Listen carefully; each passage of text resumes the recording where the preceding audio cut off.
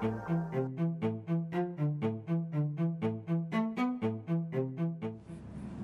there drone fans, Rick here again from Drone Valley.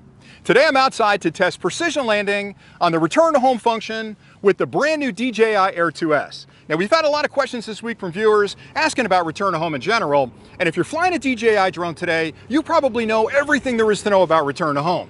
But we have a lot of new flyers that watch the channel, and we have some people that watch the channel that are thinking of getting into the hobby, and return to home is one of those mysterious features that DJI built into their drones that's really interesting, and I think incredibly sophisticated. So I thought, it's a beautiful day today, and I'll take any excuse to get outside and start flying, and I thought while I'm flying, why don't I test return to home and the precision landing aspects of it on the brand new Air 2S, and I'll explain how return to home works. So if you're a DJI flyer today, you can skip this part and you can see exactly how accurate it is. But if you're curious about it and don't quite understand what it is, return to home is a magical safety feature built into DJI drones that essentially watches all of the critical systems inside the drone when you're flying. So it's checking things like battery levels. So if you don't pay attention to the battery and you fly too far away, it's gonna know that it only has enough energy to get it back and it's gonna actually actually take over control of the drone, turn around in the air, spin around, and come back to the home point and then land where it took off. It also monitors transmission, so there are settings inside the DJI Fly app where you can decide what happens when you lose the signal.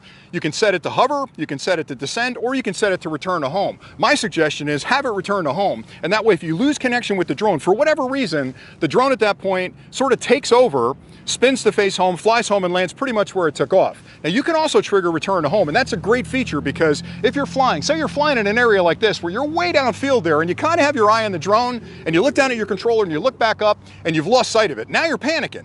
Take a breath and then hit the return to home key, actually hold it down for a couple of seconds, the drone will respond to that and say, okay, Rick lost sight of me, maybe I better fly back and land where I took off, and it'll actually come back home. So it's sort of a, it's like a dog whistle to have it come back and land where it took off, which is a brilliant feature.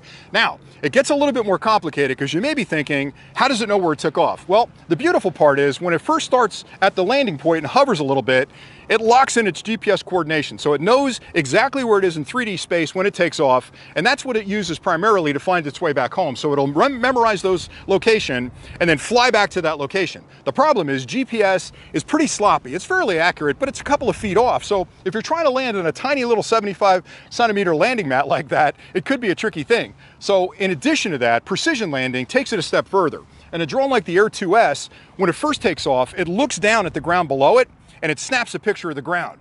So it's much more accurate when it comes back and lands because it not only has the GPS coordination to come back and get in the general direction, but as it's starting to descend, it's looking below it. It flips the camera down to look below it to match up exactly what the landing point looked like when it took off. So it's actually really brilliant. And I'm gonna test that now. Now, two things to keep in mind. There are a couple of settings inside the Fly app that you need to be aware of. The first one is you can decide what happens when you lose a transmission. Do you want it to hover? Do you want it to descend? Both of those are bad. Or do you want it to return to home? So set it to return to home. The other really important thing is you get to determine what the return to home height is. They give you a lot of latitude of how high it's going to be when it elevates to that height to actually turn to come back home. My recommendation is wherever you are, like for example here, there's not a lot to run into. I'm in the middle of a farm here. There's not a lot of tall trees and it's really windy today. So I don't want to send it up to 300 feet because it's going to be way off course when it's trying to land. So I've set it for 65 feet today, but typically I'll set it to 100, 200 feet if it's not too windy out. And that way I'm sure that it's going to come back and it's going to clear any obstacles. But make sure you set that because if you don't and it's too low and it comes back, depending on what the crash avoidance built into the product is, it may actually stay there and not get past these trees on the way home. And that can be a little frustrating. So anyway, I've got it set up. Now what I'm gonna do is let it hover. I'm gonna auto take off using the feature on here.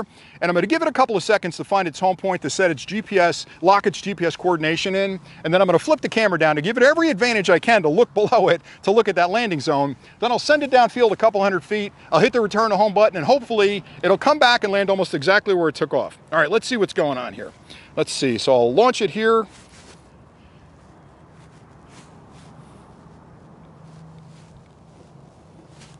All right, I'm gonna use the auto launch function just to give it every advantage possible. All right, it'll take off and should hover a little bit. Now I'm gonna flick, you don't have to do this, but I like to do this. I'm gonna flip the camera down, I'm gonna bring it up a little higher and center it over the mat. And let me take the side collision off. I don't fly with a lot of crash avoidance normally. All right, so let me take it up just a tiny bit higher so I can find that mat.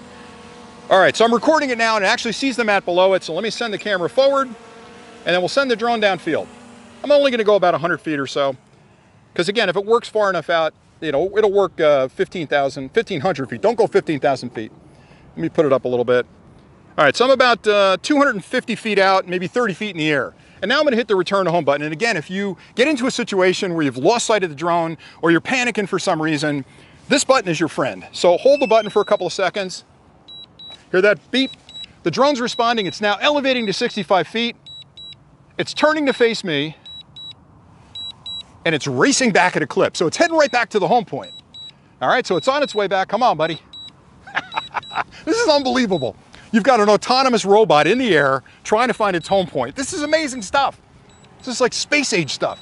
All right, so now it's coming over top of the landing point and it's slowing down. Okay, it stopped. Now it's hard for me to tell exactly how close it is to the takeoff point, but it sure looks pretty close. All right, now what it's doing is it's rotating back in the same direction it was facing when it took off because the picture is facing that direction and it needs to match up that picture. All right, so it's happy, it's facing downfield, and now it's starting to descend. Here's where it gets interesting. All right, let me get out of the way. I don't wanna trigger any of the sensors, so I'll stand back here. Coming down, okay, it's a little bit off that direction. Oh, this is not gonna be close, not gonna be close. Come on, buddy, get over this way, get over this way. All right, it stopped, it stopped. It's making an adjustment. Oh, this is so cool. It's right over the mat. This is unbelievable. All right, so it's coming down, making another adjustment. Boom, it's right on the H. That is unbelievable. It landed right on the H. All right, so if I'm being, if I'm being honest, it's off by three inches, but what do you care? For me, just getting it back to the area where I took off is enough because then I can control it when it's in this area, but to have it land on a mat literally within inches of where it took off is just an amazing piece of technology as far as I'm concerned. So you can imagine if you're in kind of a sketchy environment, you've only got a clearing that you got to land in or you're on a boat and you know the boat's not moving, of course, it's anchored someplace, it's going to land pretty much where it took off. And that's exactly what precision landing is designed to do. So does it have precision landing on return to home? Absolutely does. Another major benefit of the Air 2S. So I hope you enjoyed this. If you have any questions about anything I've covered today, drop those in the comments below. I'll get back to you as quickly as I can. I'm out flying like crazy, so there's gonna be a lot of clips coming on the Air 2S and comparisons with other drones. If you haven't subscribed to the channel, please hit that subscribe button down there because again, I've got a ton more content coming. I've got giveaways going and you wanna join the Drone Valley family, so hit the button and join the family. Anyway, that's it for today. Thank you so much for watching and until next time, happy flying.